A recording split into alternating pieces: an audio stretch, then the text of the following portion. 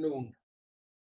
We um, start again from uh, considering our problem and our problem uh, specifically for my lectures for this part of the course is about the possible substitution of plastics with bioplastics or with bio-based plastics, which as may you, you may remember are two different things.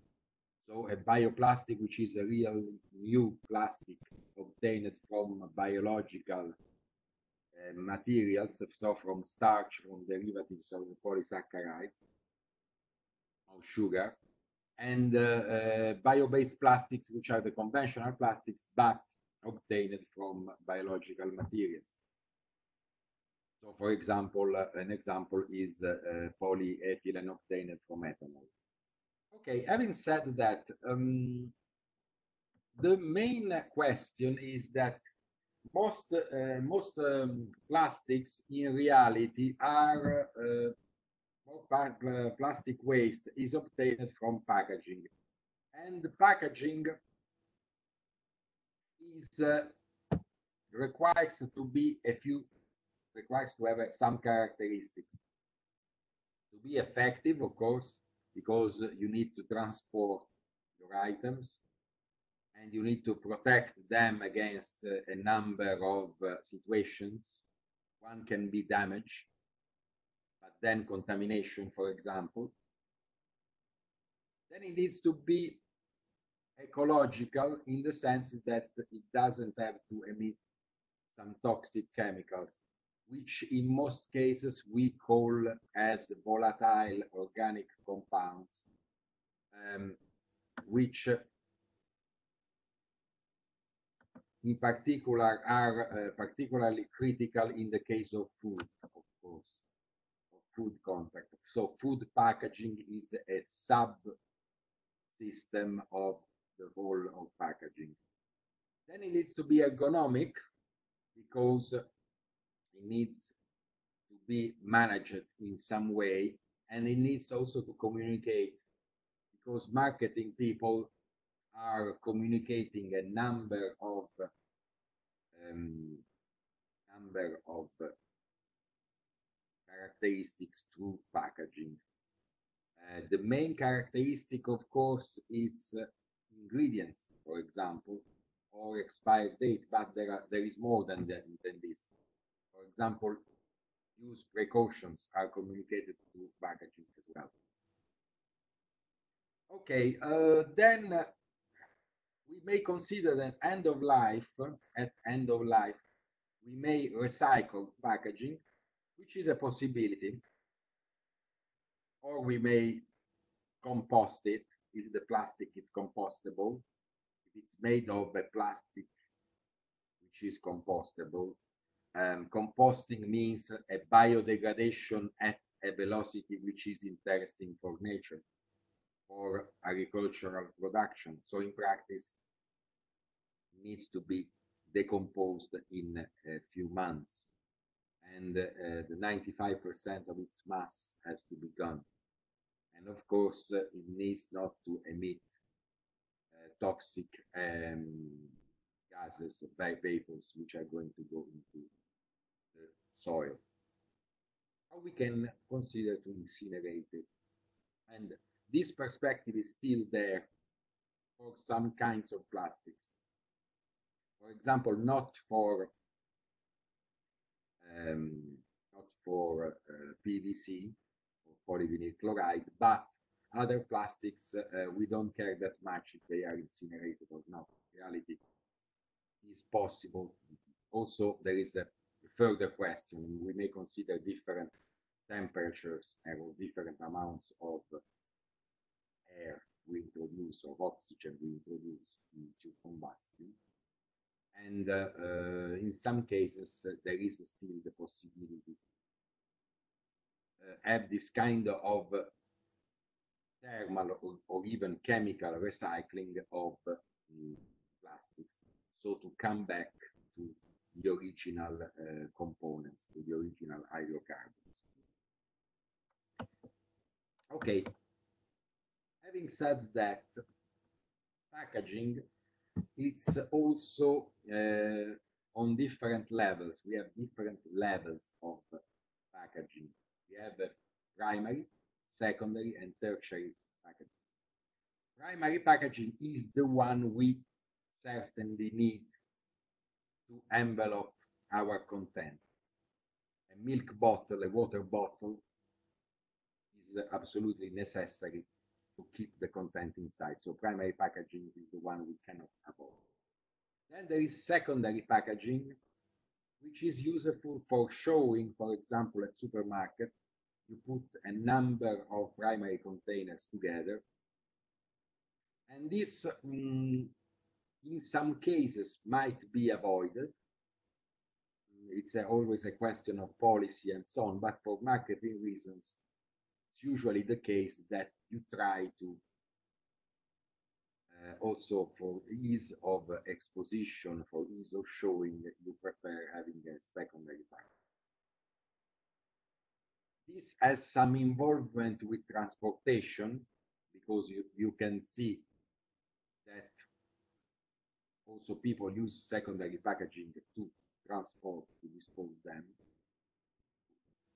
Supermarket shelf, for example. But then what is really involved with transportation is the tertiary packaging, which is the big containers, which contain a lot of, of uh, smaller containers and which can be avoided. Example, an example, for example, with the ink cartridge, you may have uh, the, the example I show there. There is the ink cartridge, which is the primary container, but has some problems because it you may may get spoiled and you may uh, some ink can spill and so on. So you have a secondary package and then a tertiary packaging. Uh, or some types, uh, some different types of tertiary packaging which allow them to be transported.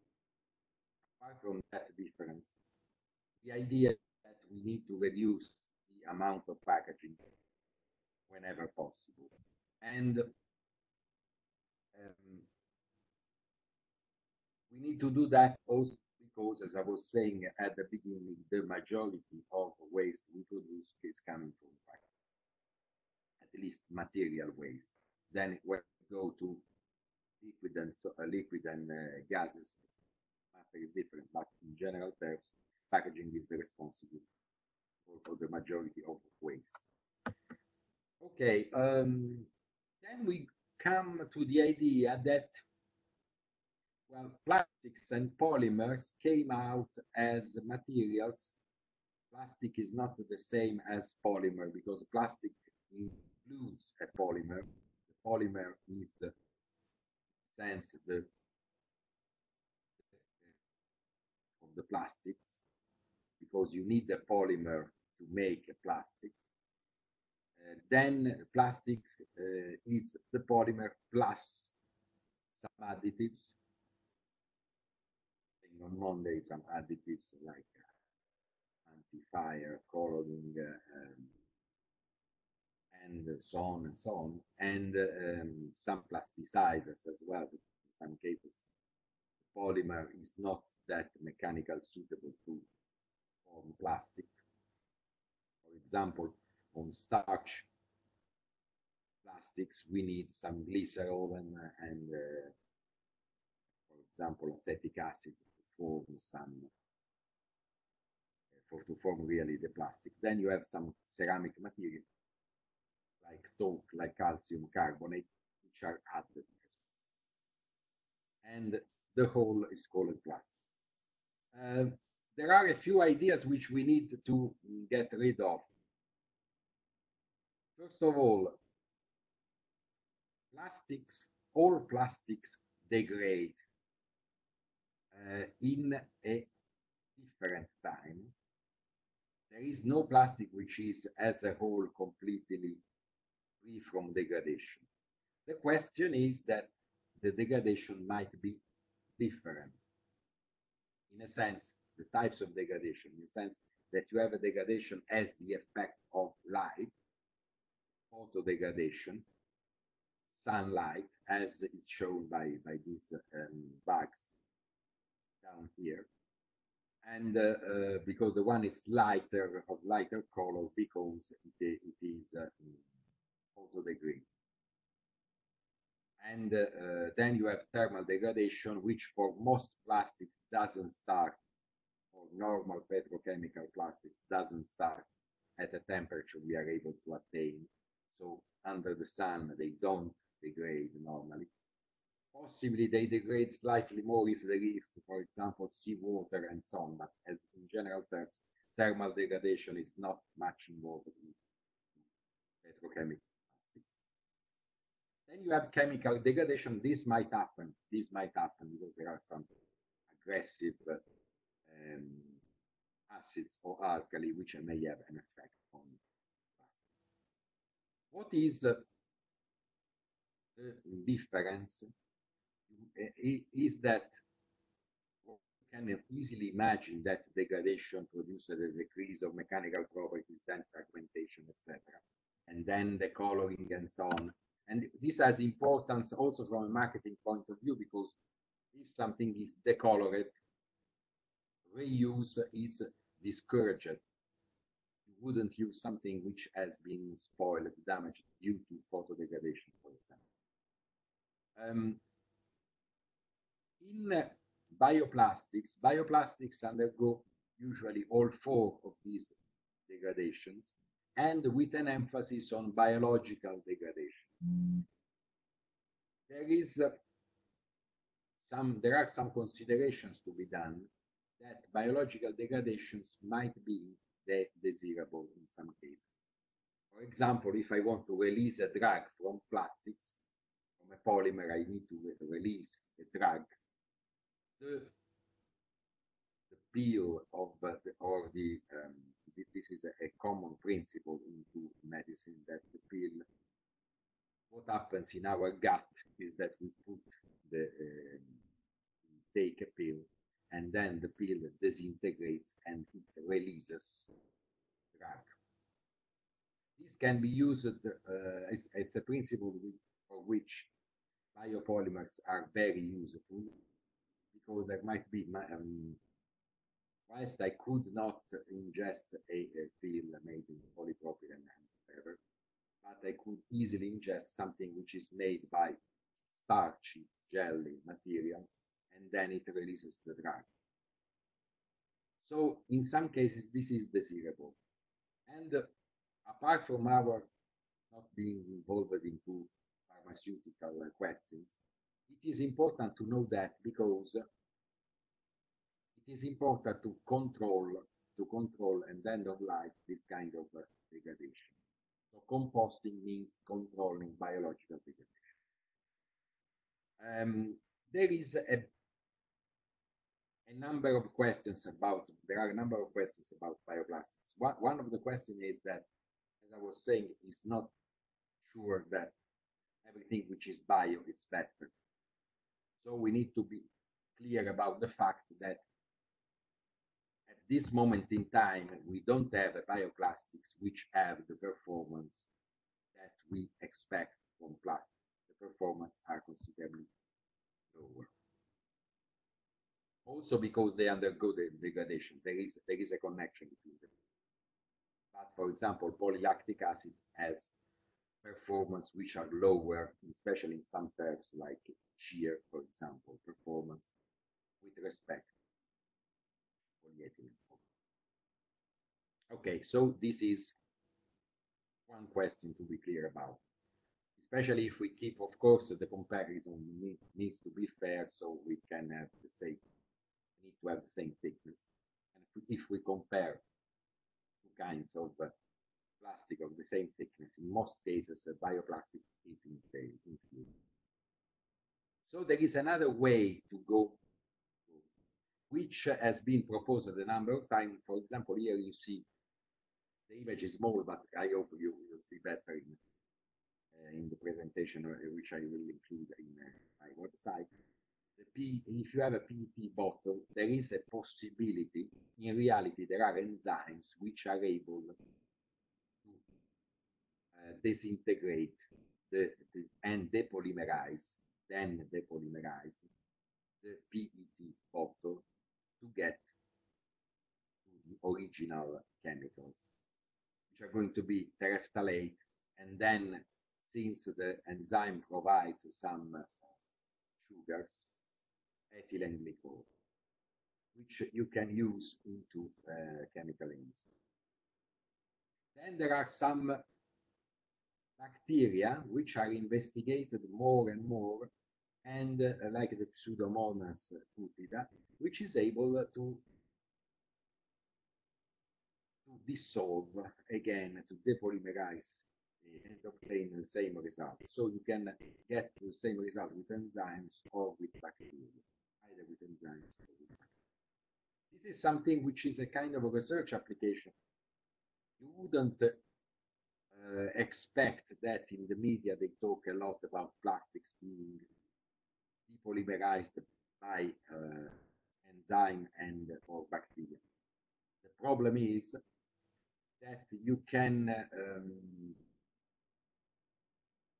you, you, you can either use these uh, these uh, chemicals in the chemical industry, make other products, um, or you can use that these to for a biofuel cell especially ethylene glycol, you can use it to produce energy.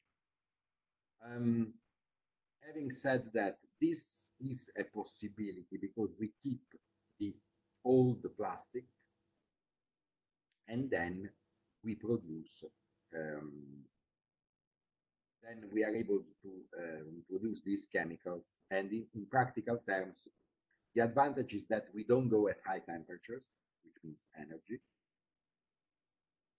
but the disadvantage is that we are not sure yet that at industrial scale we are able to control either the enzymes or the bacteria. But I'll show more than, than this because it's, uh, it's a perspective that needs to be taken into account, adds to the other perspective shown. Bottom left, you see an image which is a false image because when you degrade and, and you want to compost, compost bottle, this is what happens, but this is not re referred to composting. When you compost, first of all, you first of all you grind, you, make into small pieces your bottle, and then it's compostable. It can be inserted into compost.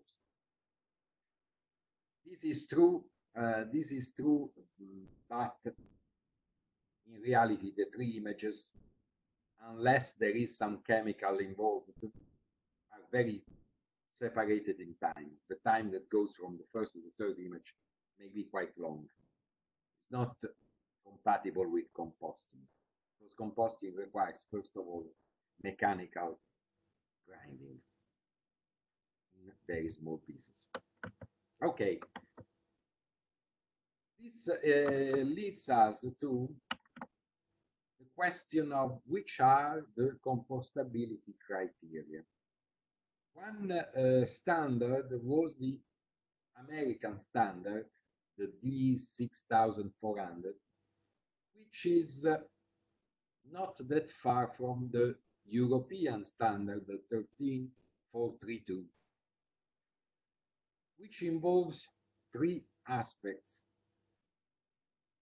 Uh, the main question is that the main difference between the two is that the EN 13432 it's more focused on films.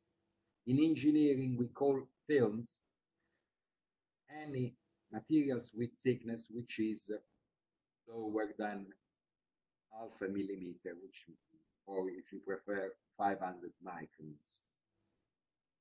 In real terms, most films are much lower than that.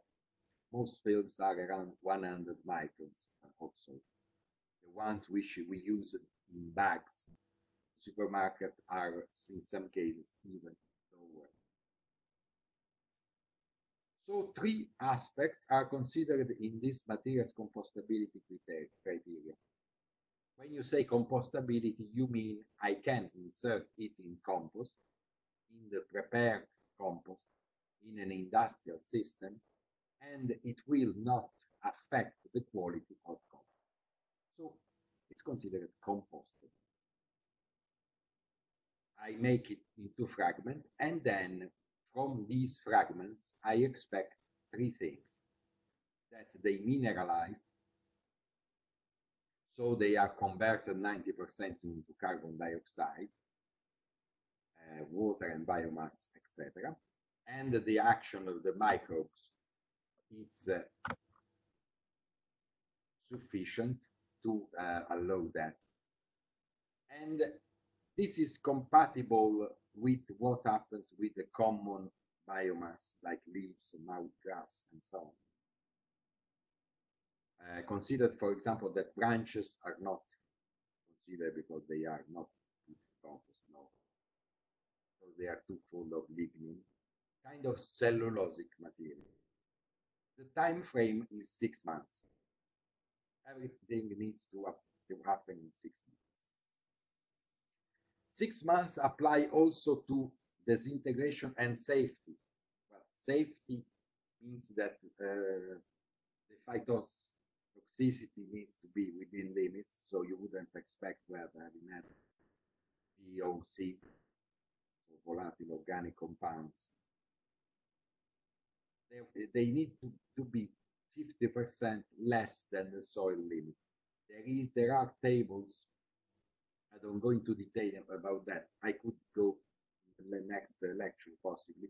But the idea is that there are some contents which are allowed in the soil for heavy metals.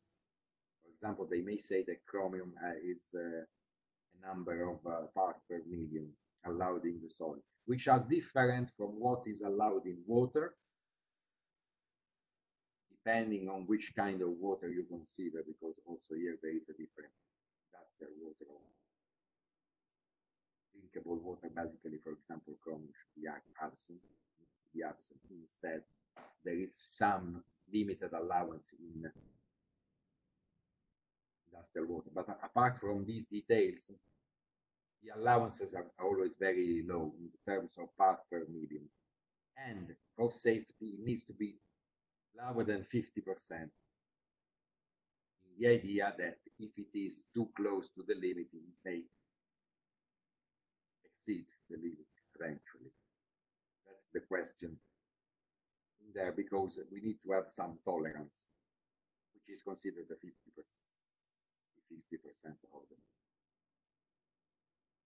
Um, also because something can happen in the soil that in some cases may lead to a higher concentration, so it's better, better to be safe. Then uh, disintegration means that uh, less than 10% uh, uh, is done obtained from pieces which have one dimension, one dimension of more than two millimeters. So in practice, they don't pass through the sieve, but two millimeters EN13432 concentrated more on packaging, but in most cases, these are the, the bioplastic bags um, rules. And uh,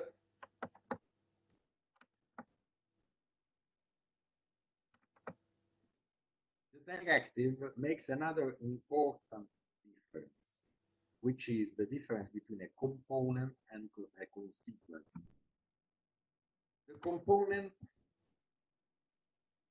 may not be uh, compostable because they are easily separated from the bulk of it, from the bulk. And the constituent uh, might not be separated from the bulk of it. Uh, in other in other sense, considering not a, not a plastic bag, but, but a piece of packaging, more, a more complex piece of packaging, there are some parts which might be easily removed. May have heard, for example, when you do the differentiated waste collection, then in some case they ask you to remove. For example, if, if you consider a bottle, the component, the, the, the cap, the cap might be a component.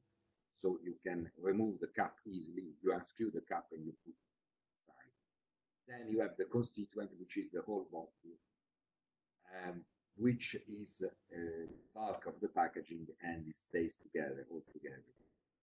In fact, as a matter of fact, you find out that also in PET bottles, the cap is made on, on always on polyethylene, but on a higher thickness and and it's not a terephthalic form, polyethylene. Um, usually a high density polyethylene but there might be caps also in polypropylene. But anyway, it, can be removed.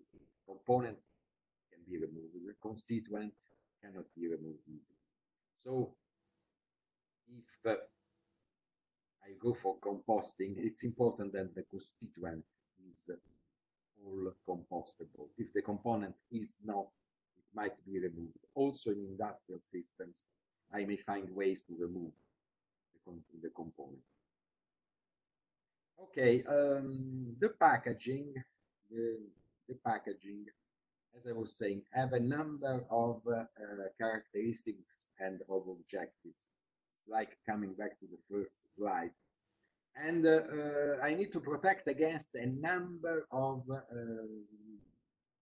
number of items, a number of questions, of problems. Why I'm talking of this?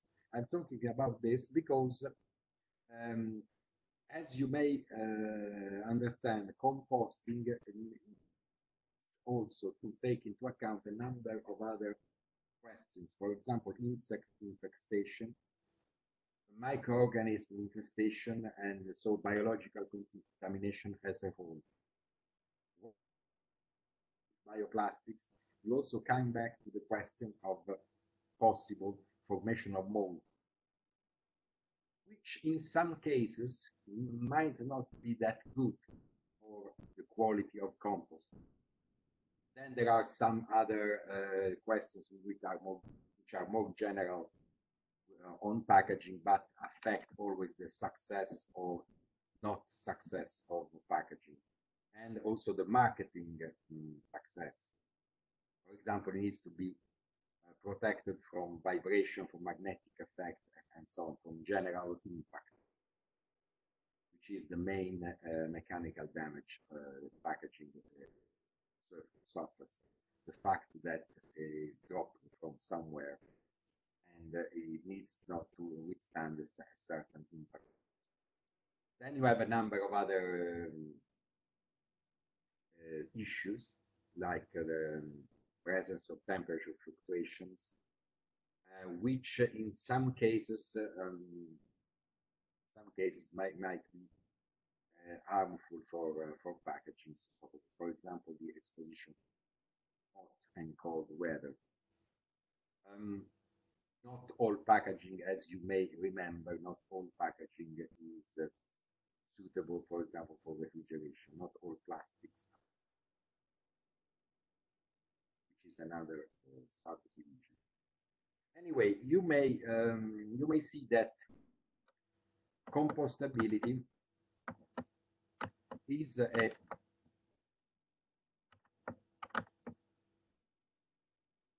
aspect which is considered also by a number of engineering standards of more general engineering standards. I report them as uh, numbers. They're always standards from ASTM, which means American Society for Standard um, Testing and Materials. Sorry, American Society for Testing and Materials. And uh, um, these uh, could be um, looked at into the usually you find that the abstract in some cases even complete standards over the, over the net. But what is important is to understand that uh, there are a number of standards which concern the in particular the D5988, it concerns the aerobic degradation of plastic materials in soil.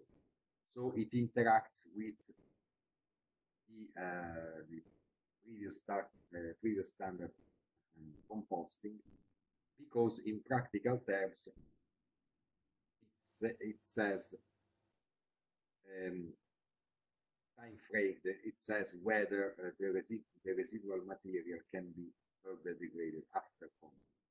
Because there is a you integrate composting in the soil environment the 5988 uh, was uh, generated by one concern the fact that um, the quality of compost was not as designed, in particular after introduction of the composter. Again, once again, you you can uh, see that the duration is six months. Six months is a typical duration, and it's from we can consider from the autumn, the spring, practical practical terms. So you sow uh, and then you collect collect your your vegetables in spring.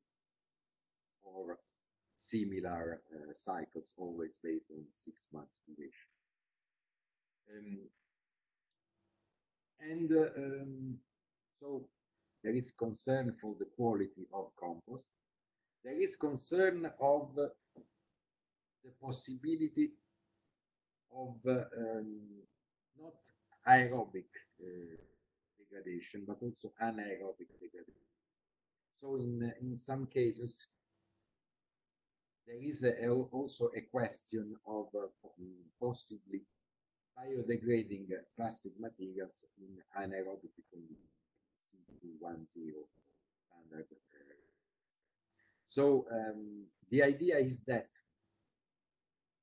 we would like to avoid landfilling The idea of all these standards is that we would like to avoid landfilling of plastics, especially as such.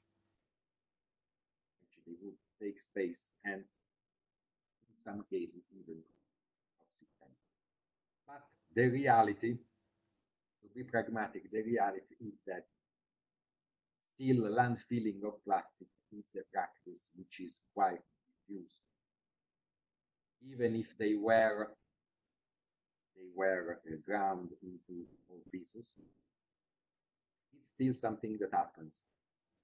So it is important to understand uh, whether, for example, in an anaerobic digester, uh, it is possible to biodegrade um, plastics. Uh, when, uh, when they say plastic here, they don't directly say bioplastics because you need to consider that for some plastics, some kind of biological degradation is possible. Usually, plastics obtained from petrol are not compostable. I would say they are not compostable. So, in in general terms, 5988 uh, concerns more biological uh, bioplastics or um, or in any case plastics that contain biological because they're, biological materials biological originated material or, or materials originated from biological raw materials. In other sense you may have for example to make an example there is no law that hinders us for, for making a mixture for example of polyethylene with polylactic acid. I can make a blend and say well a part doesn't biodegrade the polyethylene bit, but the polylactic acid bit, it does.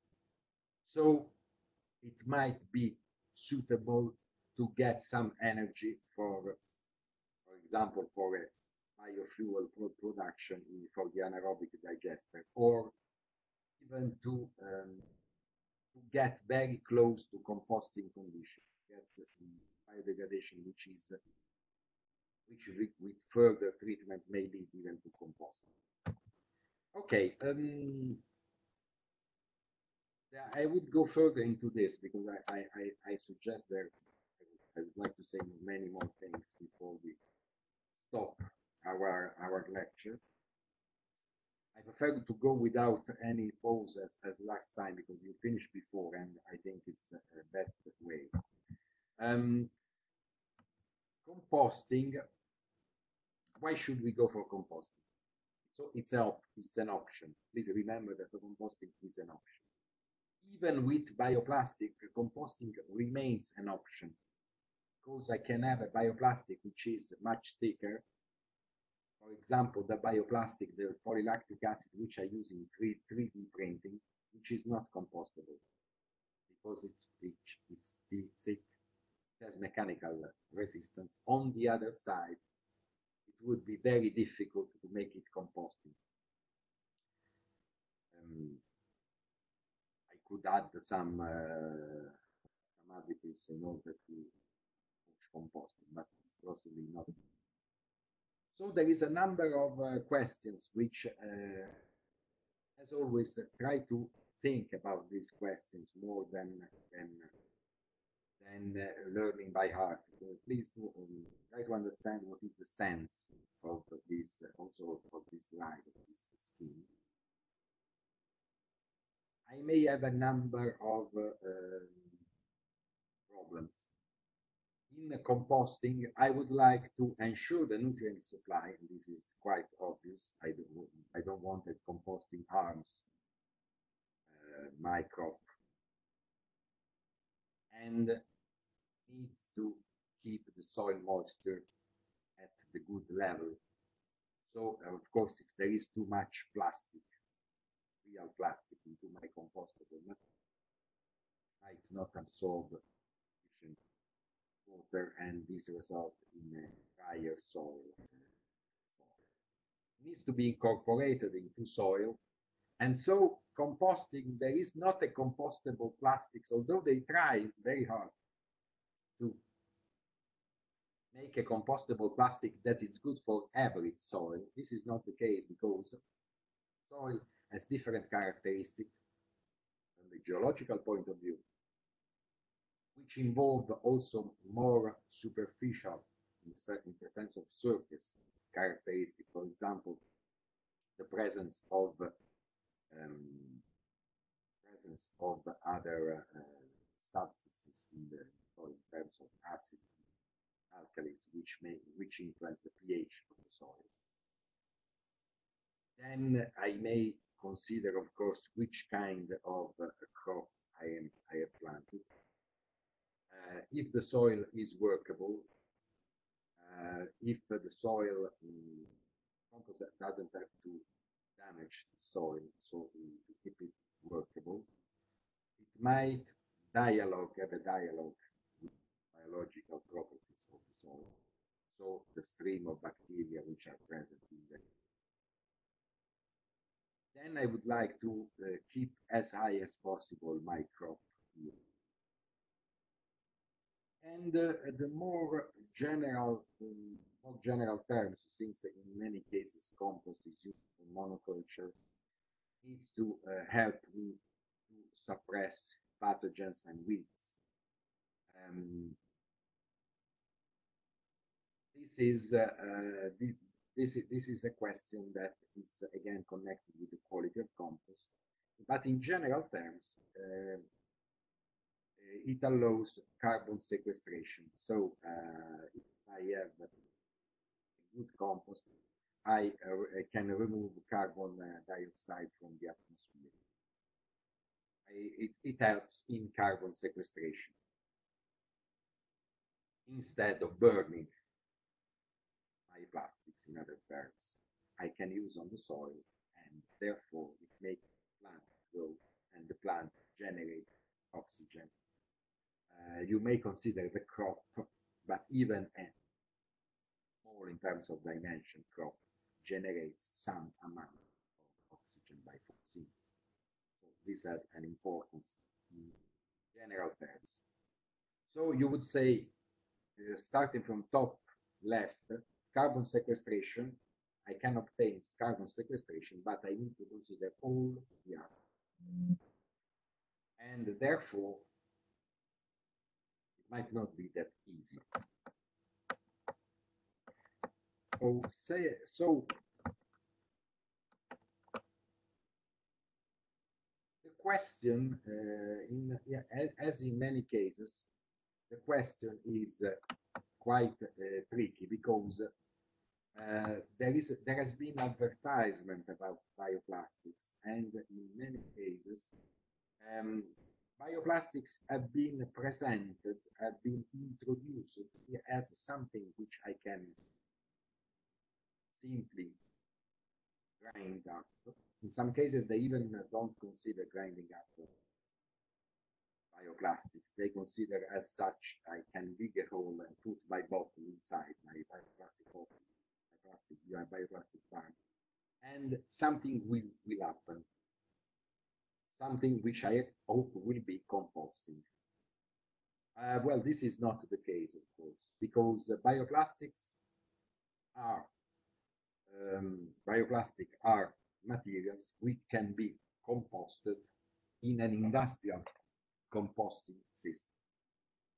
In an industrial composting system. In most cases, this is not possible at all because I don't have the um, mixture with a, a um, prepared compost. I don't have the conditions for composting. I don't have I don't have also possibly the grinding facilities, the mechanical facilities which, which allow me to the plastic to prepare it. Okay, so um, here is a scheme, for example, uh, of integration of a composter with the digester, with aerobic digester. And you can see here that what's happening now um, that, that I can include beef and yard feedstock and uh, and yard feedstocks and uh, I can I can introduce it and uh, um, I can not only introduce it uh, in uh, the, in the sense of uh, um, agro waste. But in leaf yard feedstock, I can imagine easily there is some bioplastic.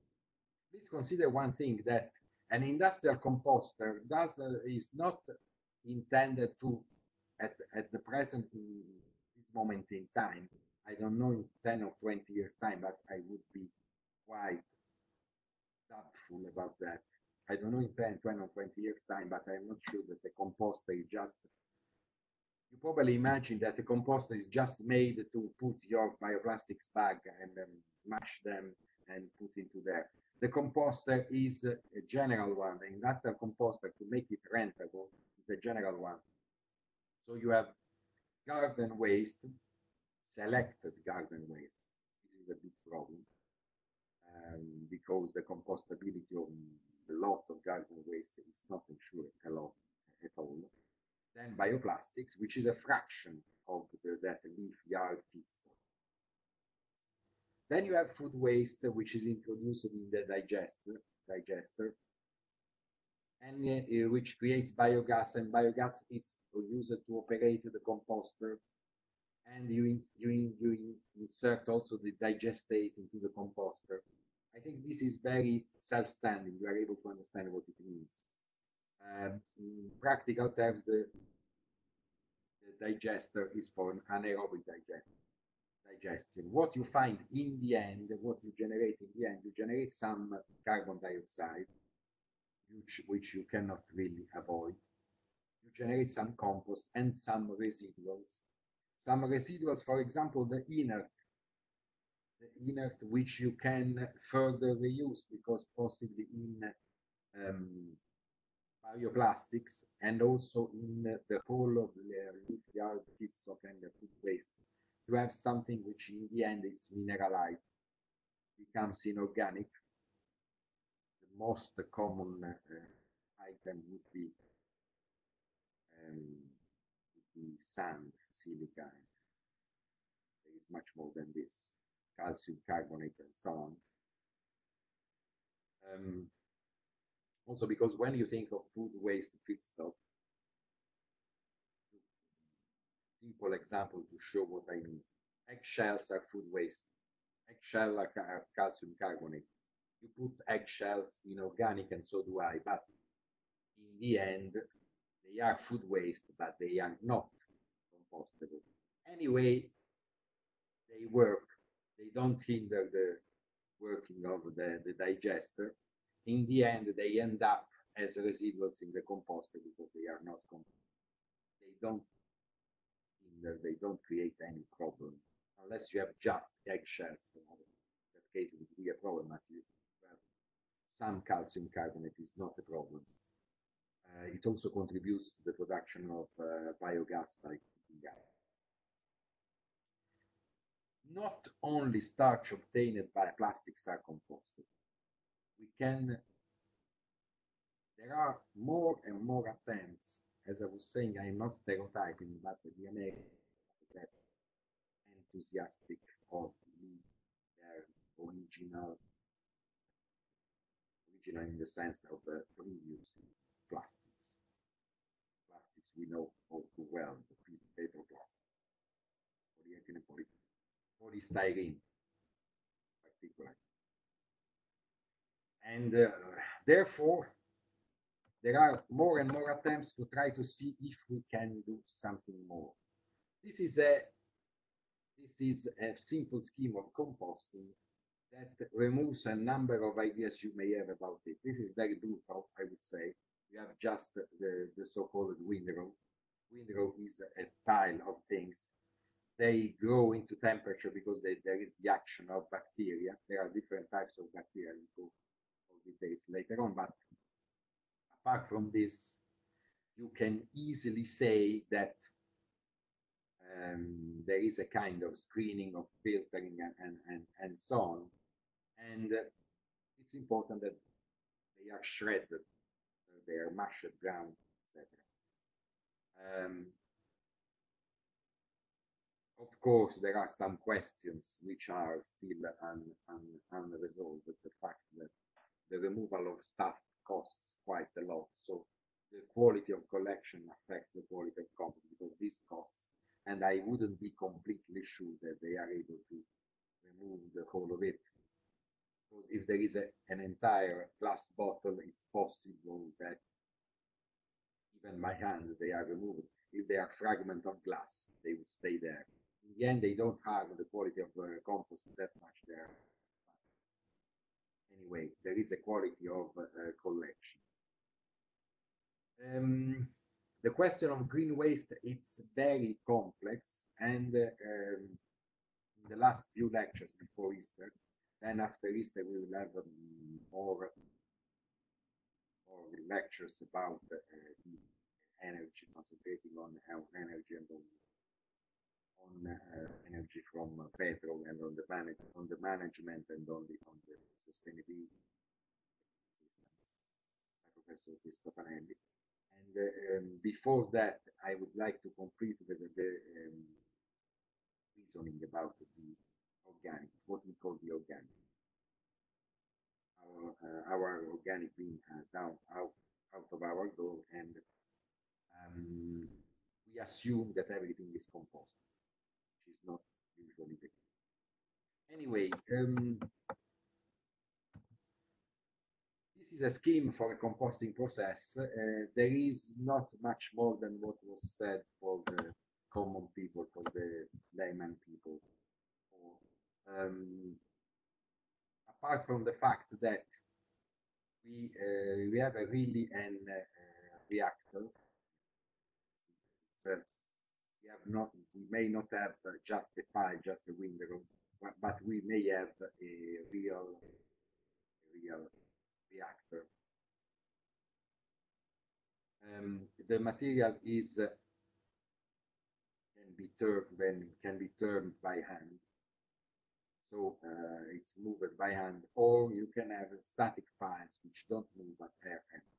So in practice, either I can move it, make uh, enter. That's what the the countryman, the farmer does.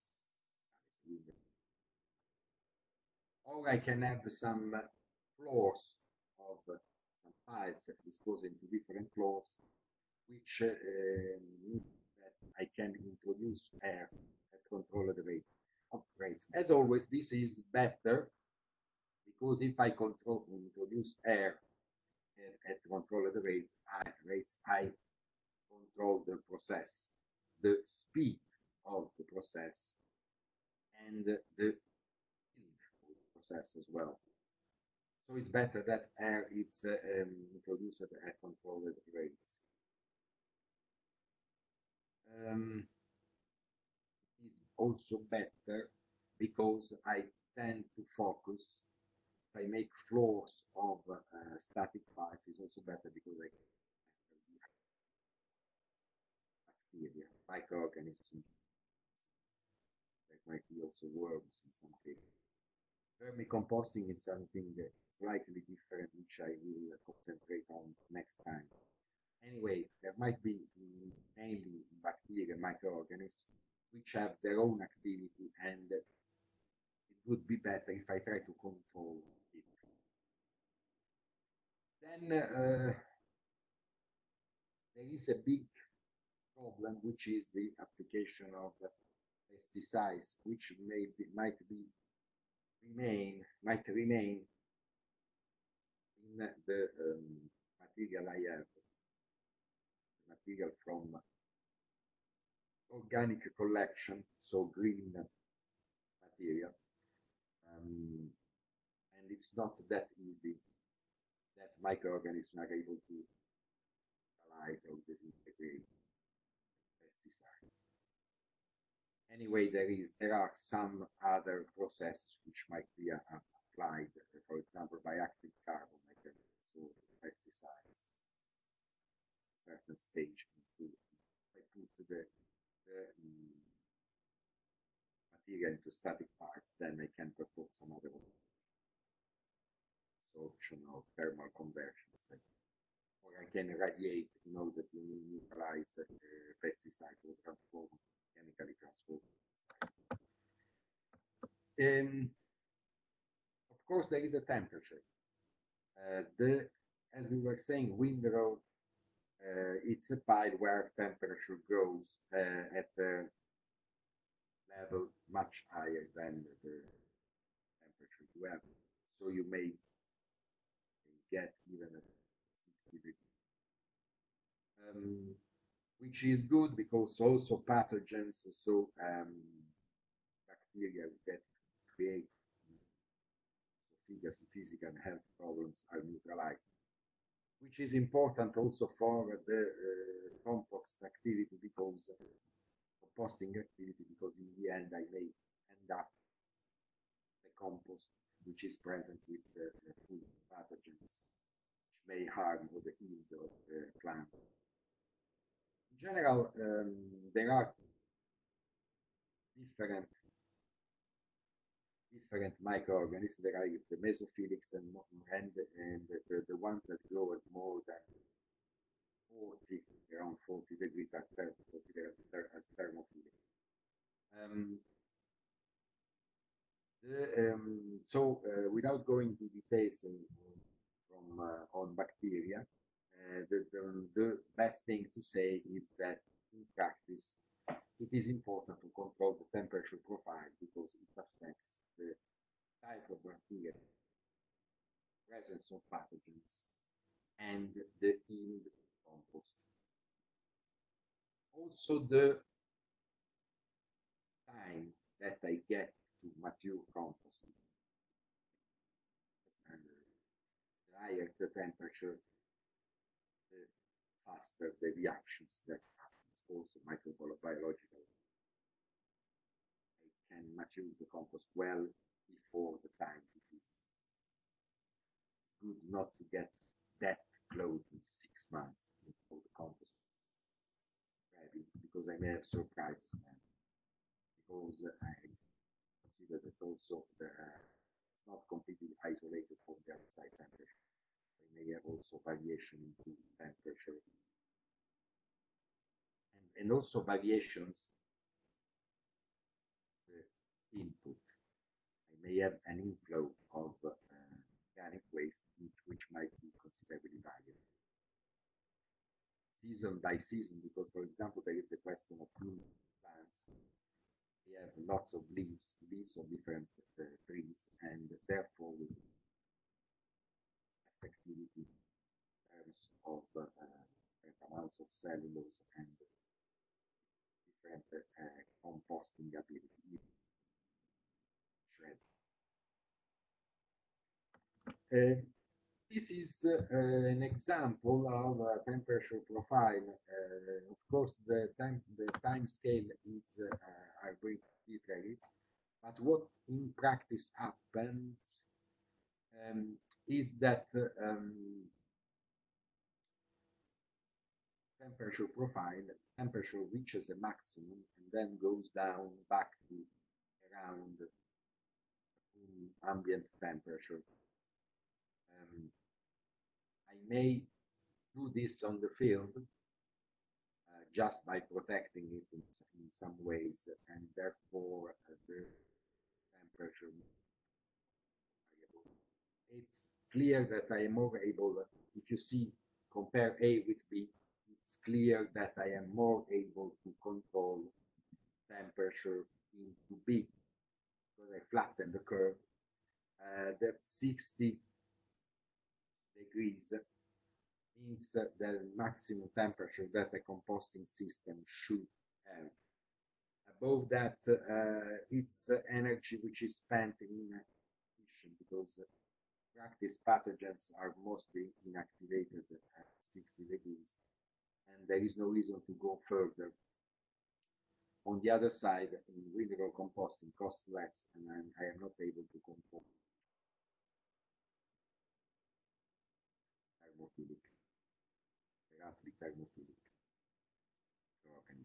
On the other side, um, you can easily see that um, you can easily see that the curves are flatter in and therefore the time is also reduced. The time scale is arbitrary, but you can easily assume that indeed you get your compost ready. So um, it's divided into three three um, parts. The first part is a it's a kind of uh, uh, quasi-linear growth of the temp growth of the temperature. So it's starting preparing the compost. So the microorganisms are developing and starting their option, their, um, their action. And after that, you have B, where the temperature goes down to uh, 45 degrees. And B is the time of action of the thermophilic microorganisms. Then uh, C is the residual action to allow it maturing completely most it is completed in uh, after B then in C it's uh, in fact it's better than I complete B uh, as uh, time as short as possible then in uh, C it completes the maturation and then in B I uh, final part where I reverse to the, um, the initial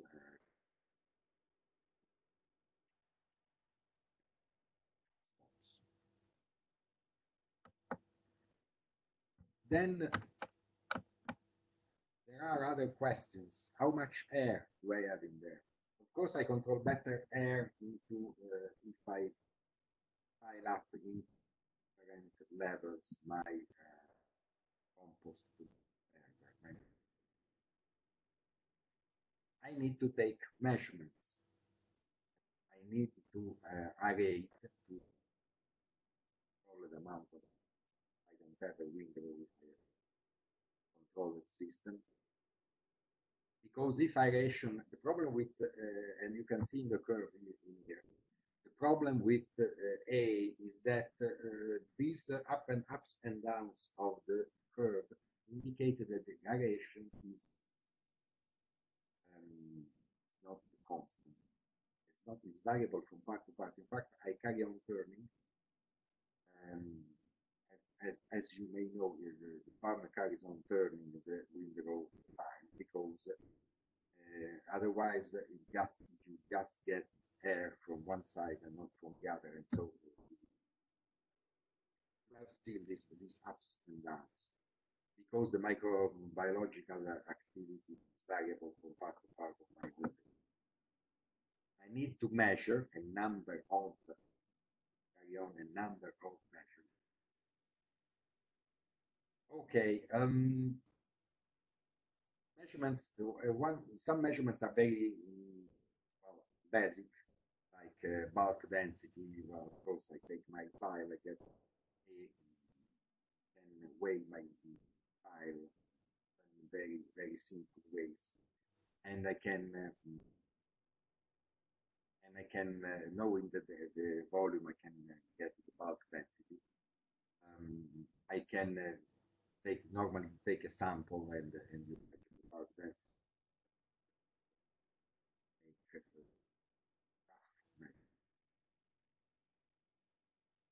You uh, can have uh, measurements uh, in the lab, more speed measure.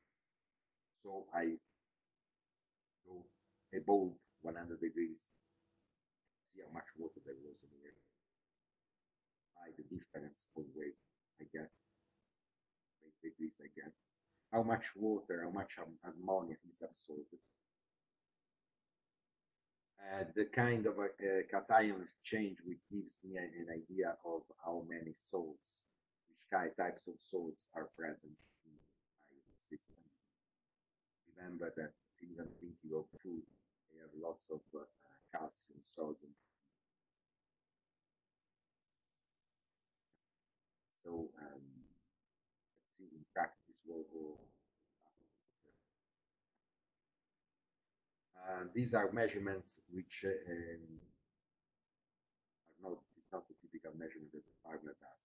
An important measurement that is more significant than all the, the rest. Uh, in, farms, they, they usually do that by approximation because they know which kind of plants they are going to grow, etc.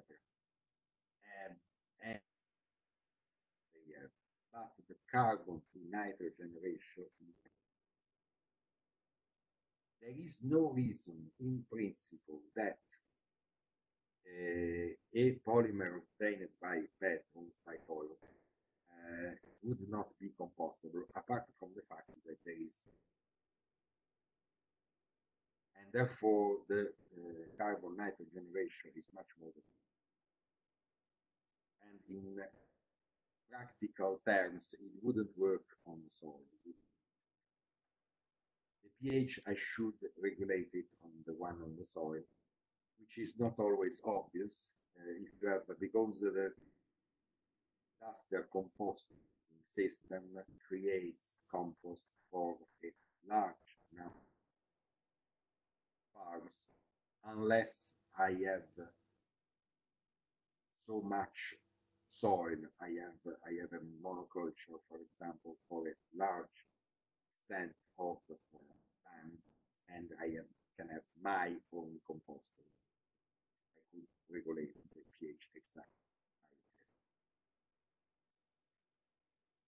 Um, so um, the pH should be around from 5 to 5 to 8. Um, is uh, important that the, the, composition is reasonably um, fast. Also to uh, avoid also to avoid the fall over. In the case of uh, um, fall, fall, fall apart from the uh, unpleasantly pleasantness, as you can understand, uh, have uh, for the farmer have a significance because they indicate that the conditions are very acid. If the conditions are very acid, compost uh, is not likely to work on the soil. You can regulate the, the pH in case of uh, composting, you add sodium acetate. In other cases, you may simply add some minerals like some sand, so as a, as a whole brings the pH up. And of course, there are some other uh, measurements which uh, which need to carry, carry out, carry out uh, which are the amount of phosphorus, and phosphorus uh, leads to growth of weeds. Remember that phosphorus eutrophication and weeds growing. So in the end, you may have, uh, if there is too much phosphorus, you may have not a pile of compost, but a pile of compost with lots of weeds. So I need you you need to purify the compost, uh, take, taking off the weeds and so on. In many cases, it's a problem.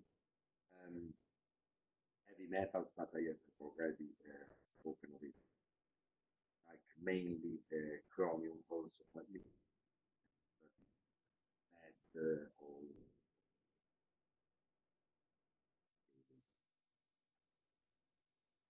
shouldn't be present, but uh, if the composting is close to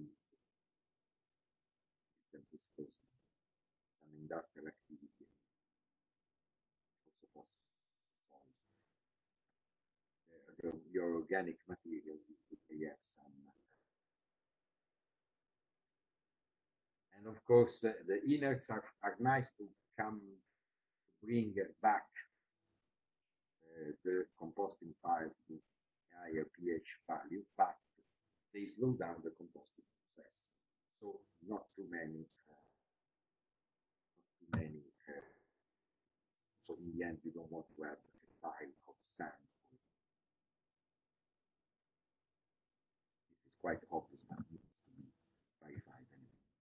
This is an example, but uh, for example, in some cases, um, you know that the scope of this kind of study, um, in some cases, since there is a concern on the quality of compost, because you may have very large cluster composting system, which gives you a compost, which in the end uh, it doesn't fit very much with your, it doesn't, it's not very good for your own, for your own soil and for your own. So in some cases, what uh, does happen? I take my waste, the waste I have, I produce wine, so I have some waste. I have some waste which might be uh, grape, grape seeds, which might be stalks and so on. Stalks from the, the, the vine are very uh, so And uh, here, for example, measurements of temperature and of uh, um, temperature and of uh, um, to have been done this uh, pile of compost. And uh, it was interesting because they have done they had waste and they wanted to know uh, which was the right uh, the right uh, ratio between sludge and salts. So in other words, fabricated the best compost, best possible compost from their uh, waste. So they had sludge, which is the final product of production of uh, wine, basically. Um, and uh, the rescue from the plants. And uh, they, they made this kind of ratio. This is a typical uh, way of proceeding. Want to get the exact formula, and then you have consider, for example, these two options. Um, you see that this is not that easy to decide. Of course, there is an influence of watering watering is uh, sometimes and uh, turning and then watering probably because uh, the season was changing at a certain moment it was becoming from very very high temperature 70 you see 70 is too much then I water it and again when, every time it goes above 60 I water it and also here. Then the full arrow uh, represents instead turning. Uh, it was a windrow also uh, turning quite uh, times to make the action of of the Okay, so there is it, it is a possible a possibility there it is possible there is a possibility of as always you could make compost from your waste instead than getting compost from a general waste, a general organic waste, which has been collected from a number of places. This is an option which is possible. If it works, it's more suitable for your soil, for your, your crops, and it's also cheaper because you, you don't spend anything waste. Instead, you need to buy compost. Um, so it is uh, interesting. Please note also that uh, these things are more more, more um, productive systems with, with, high added value. Winery has a high added, added value, and as a consequence, I may have a lot of waste, and I won't. And um, and uh, and I I would like to have this kind of uh, experiment of making compost myself because in in terms of making a, a compost system, I may have an initial investment, especially if I want initial investment, but this might, might be compensated by the fact that I dispose of waste to transport waste. Call someone to transport waste to another Okay, we are almost at the end of uh, our uh. What I wanted to say, uh, I, I have to given some hints of the fact that also some um, some petroplastics might be composed, uh, might be decomposed. I was showing about polyethylene. And there could be an enzyme way um, decompose it and a bacteria way to decompose it. Styrofoam. Styrofoam means cell polystyrene. Styrofoam is a packaging material, it's the principal packaging material, especially not for food, hardly ever. There is little use of uh, polystyrene. Um, especially um, in refrigeration. There is a use in polystyrene. Um, uh, I, I, I, didn't want to say there is no use in polystyrene of uh, styrofoam. For, there is a use. But uh, the, um, what I wanted to say in reality is that it's a minority. Use of, uh, it's not the biggest share. Use of uh, styrofoam because it's a general packaging that applies to very also to very large items, which is not the case for other plastics. You wouldn't find very large casings in uh, polyethylene, polypropylene, whilst you find them in styrofoam, which means a lot of volume of material, which are not recyclable, not because it's not possible, because because the volumes are so large, it's so light, and, and even find difficult to pay someone with that takes you the polystyrene to be recycled. So little value.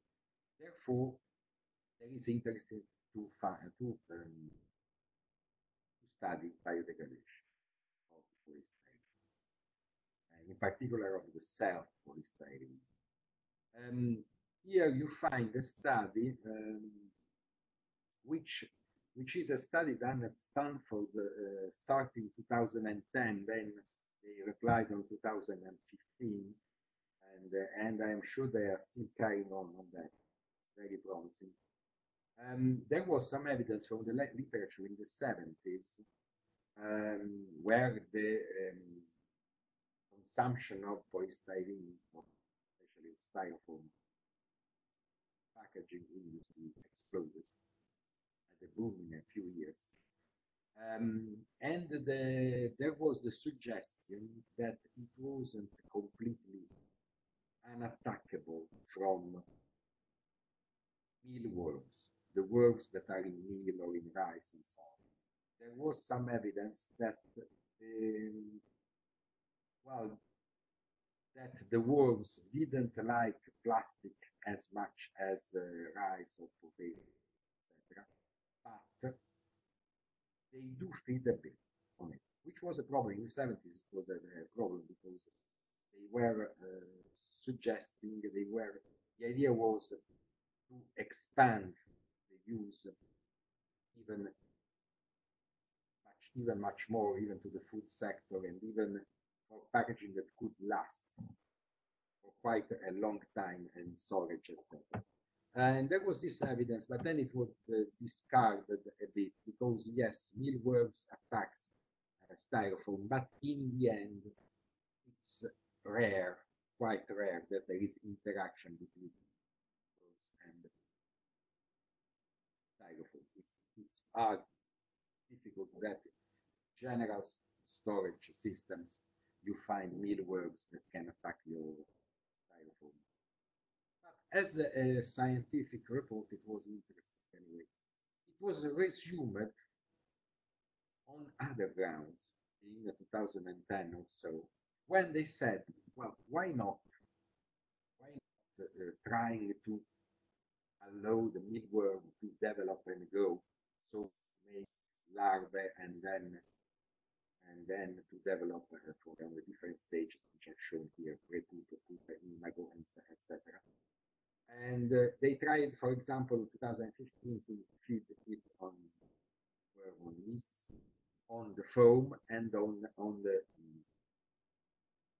on the foam and on the cross-linked foam. So on um, basically um, the, the, extruded styrofoam and the and the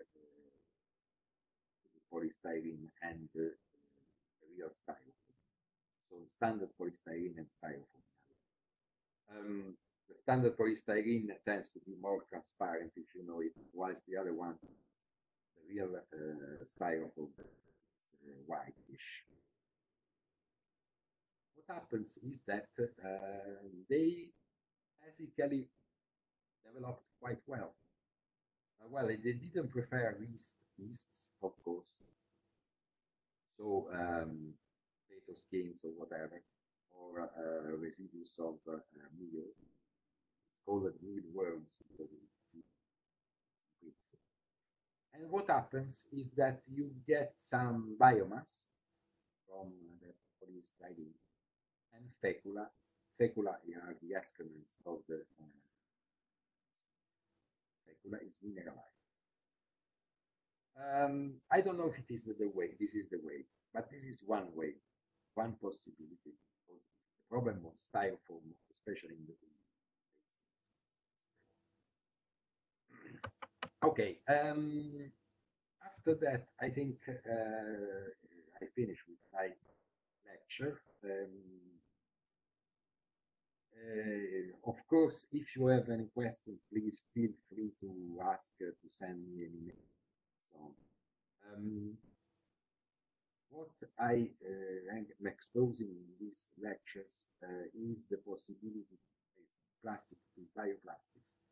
And now uh, I've spoken a bit about waste, but now I need to concentrate uh, more and more.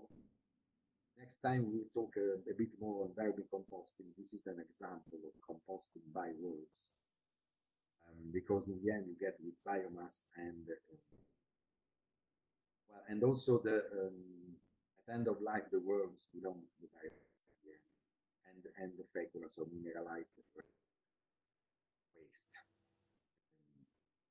This is a, possible option. We will uh, carry on with vermicomposting and with fabricating plastic from waste. This is another option which is coming more and more into the limelight because in reality um, we have a lot of waste which could be used to produce plastic instead of creating a monoculture like corn bioplastic. In terms of sustainability, uh, getting rid of waste it's a sign plus. doing a monoculture to produce plastics, bioplastic, might be a sign plus, might be a sign minus, because it depends. Depends on the competition, on depends on uh, where we are, depends on which gives us proper so, um, and uh, um, therefore, uh, I think I think I illustrated uh, all one what I wanted to um, we'll carry on uh, until Easter on this uh, this item. Uh, continue with the rest of the book on other uh, subject, and then uh, we suppose at the end to prepare a uh, report, I would say an educational paper ambitious on uh, one subject about sustainability, one subject that you are interested in. I have not particular preference on the subject. You need to have a, genuine interest of course, please contact me about which kind of subject you want to investigate. I will happy to discuss with you the suitability, possibility of subject to be carried. So, okay, so uh, see you on uh, next Monday. And um, for now, uh, have, have a nice week. See you next